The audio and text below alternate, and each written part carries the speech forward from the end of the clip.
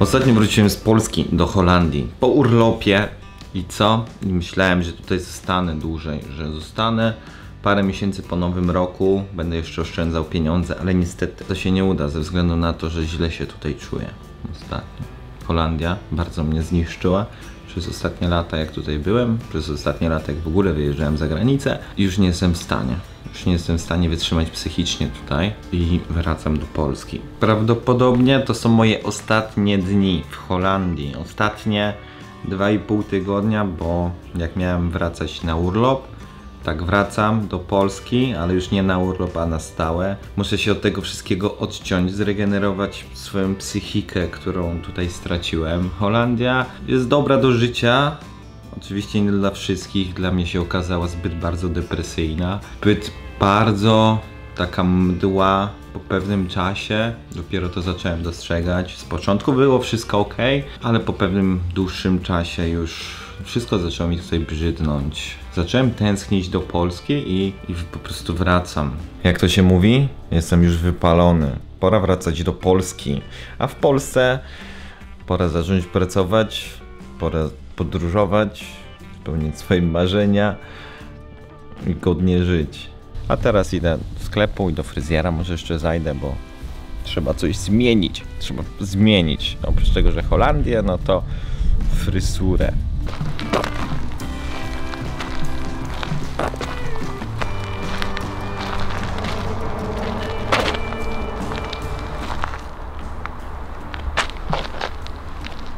Jest pięknie, ale depresyjnie. Pogoda też się zrobiła depresyjna. Bardzo często pada, więc depresja gwarantowana. Wymęczenie w pracy też działa bardzo mocno. Szczególnie jak macie mieszane zmiany. Raz tutaj nocki, raz na siódmą, raz na piątą, raz na czternastą. Schodzicie w sobotę rano z nocki w tą samą sobotę na godzinę 16. Idziecie na drugą zmianę, więc tak naprawdę tylko wstaniecie już do pracy znowu. Nie, nie mogę, po prostu nie mogę już. Robię to dla siebie, żeby psychicznie się nie zniszczyć do końca. Potrzebuję tego, bardzo tego potrzebuję.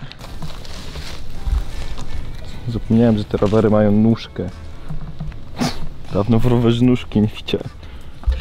Tak szczerze mówiąc, to nigdy nie sądziłem, że psychiczne wymęczenie może być tak ciężkie. Sądziłem, że to okej, ktoś tam psychicznie się męczy, jest okej. No jakby odpocznie, jest okej. A dopiero jak sam poczułem, jakie jest psychiczne wymęczenie, to zrozumiałem, że to wcale nie jest takie łatwe, jak mi się wydawało. I człowiek męczy się w środku, na zewnątrz tego nie widać, a w środku go męczy cały czas. Chcąc jeszcze uwolnić dzisiaj głowę, bo mam dzień wolny, dzisiaj, jutro, w końcu, to wybrałem się do sklepu. Właśnie w tym momencie jestem w drodze do sklepu, ale się nie śpieszę, bo ostatnio za dużo było tego pośpiechu. Teraz wszystko wolniej, chociaż chciałbym, żeby mi czas szybciej leciał, żeby te 2,5 tygodnia jak najszybciej minęło. To by było dobre dla mnie. W sensie, to by mocno, mocno spowodowało, żebym odpoczął. Chciałbym w końcu już na stałe wrócić do Polski. Zacząć tam zarabiać, żyć godnie w Polsce. Albo spróbować żyć godnie w Polsce. Chodzić po górach, podróżować, jeździć rowerem, zbierać na mój cel, czyli busa. I w tym kierunku idę. Jakby idę w kierunku busa i muszę znaleźć porządną pracę w Polsce, żeby nazbierać na busa, żeby móc go zrobić. Dlatego to całe prawo jazdy, dlatego ten pomysł na prawo jazdy, bo wydaje mi się, że w miarę dobre są zarobki na kategorii D. Więc czas do sklepu.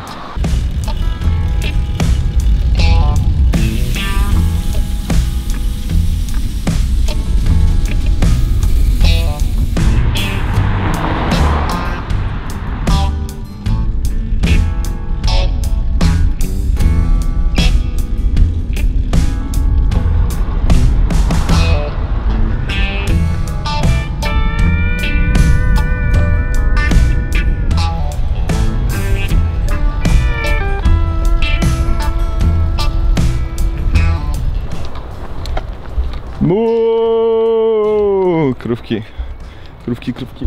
Ładnie to może teraz wyglądać, ale w mojej głowie już nie jest to takie jak było na początku. Wszystko się pozmieniało.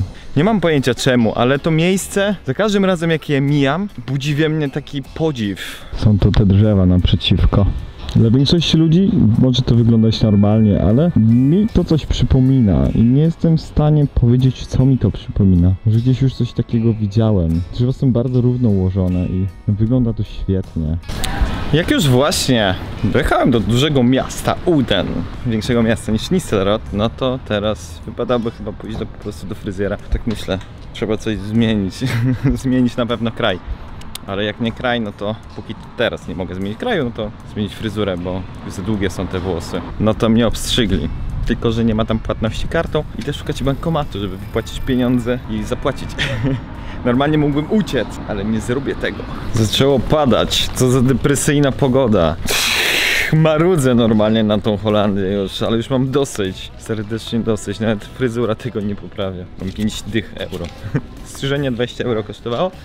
Właśnie idę zapłacić. Także trochę wam pomarudziłem dzisiaj na temat wszystkiego. I dobrze, bo mi teraz łatwiej przynajmniej, trochę mi łatwiej. Dzisiaj sobie robię dzień restartu, czyli dzisiaj, jutro nic nie robię, tylko się restartuję w swój własny sposób, bo potrzebowałem tego już od jakiegoś tygodnia, tego restartu.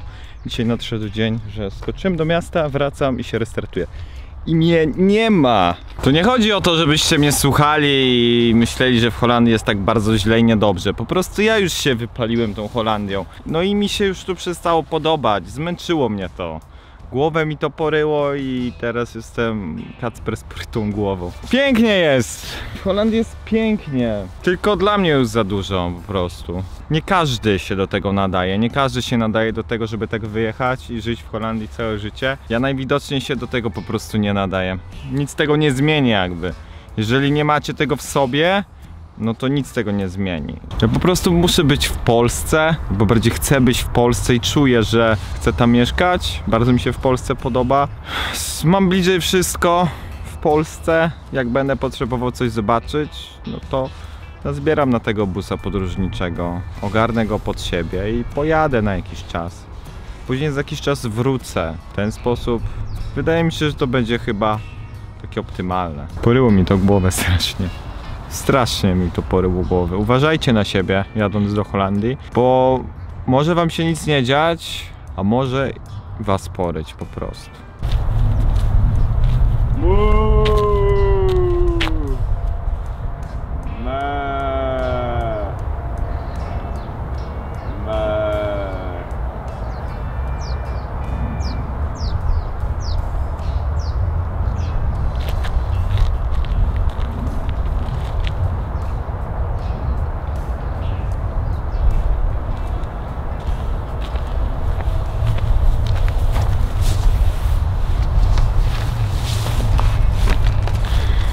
Oj, tak to już jest w tym życiu.